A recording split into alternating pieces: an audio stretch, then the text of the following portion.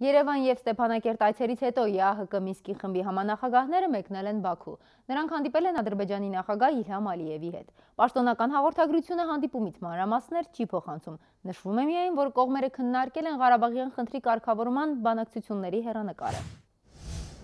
Ավստրիան նոր կանցլեր ունի։ Ժամեր առաջ նախագահը հայտարարեց նոր կանցլերի անունը, որ փոխարինելու է Եվրոպայի ամենաերիտասարդ առաջնորդ Սեբաստիան Կուրցին։ Նա 70-ամյա Բրիջիտ Բիրլեինն է Ավստրիայի սահմանադրական դատարանի նախագահը։ Իսկ Սեբաստիան Կուրցին խորհրդարան անվստահության քվե հայտնեց անցած շաբաթ։ Պատճառը այն էր, որ համացանցում հայտնվել էր նրա կուսակցի երկու տարվա վաղեմության տեսանյութը, որտեղ վերջինը ռուս միլիարդատիրուհու հետ էր, որին խնդրում էր աջակցել իրեն ընտրությունների ժամանակ։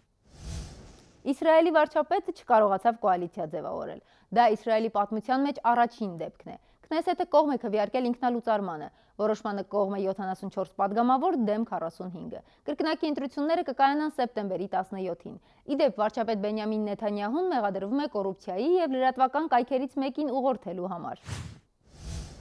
Խորհրդարանի արտահերտ ընտրություն տեղի կունենա նաև Ուկրաինայում։ Հուլիսի 21-ին ուկրաինացիները Գերագույն Ռադա կընտրեն։ Խորհրդարանը չի հաստատել վարչապետ Վլադիմիր Գրոյսմանի հրաժարականը, որ կառավարության ղեկավար էր նշանակվել նախկին նախագահ Պետրո Պորոշենկոյի պաշտոնավարման օրոք։ Այսինքն ուկրաինական կառավարությունը կշարունակի նույն կազմով աշխատել մինչև խորհրդարանի ընտրություն։ Թեև 10 օր առաջ նախագահ Վլադիմիր Զելենսկին երթմնակալության իր ելույթում հայտարարել էր, կառավարությունը պետք է վայր դնի լիազորությունները։ Ավելի վաղ Գերագույն Ռադան մերժել էր նաև նորընտիր նախագահի ներկայացրած բոլոր օրինագծերը։ Զելենսկին նորից առաջարկել է պաշտոնան կանել երկու նախարարի եւ Ուկրաինայի անվտանգության խորհրդի քարտուղարին։